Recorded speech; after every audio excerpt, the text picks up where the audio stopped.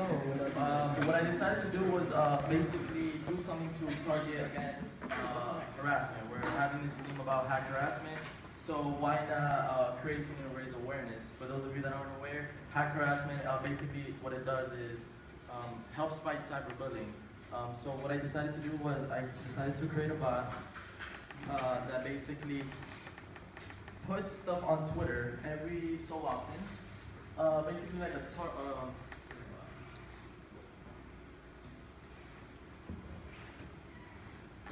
uh, as advertisement for other people to see. So if you follow it, you can wait for it to load.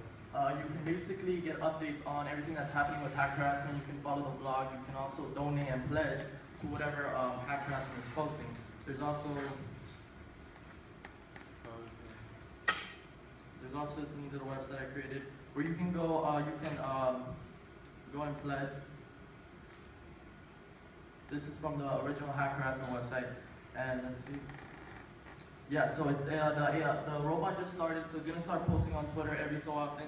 Anything about hack harassment, uh, anything about videos, anything about uh, where you can pledge, where you can uh, be a part of hack harassment, so we can fight this cyberbullying um, and be a part of something bigger than just us, um, and help those out there that are actually getting affected by this. So there posted another one where you can actually uh, watch videos. Um, everything through uh, was done through the Twitter API and Node.js. Thank you.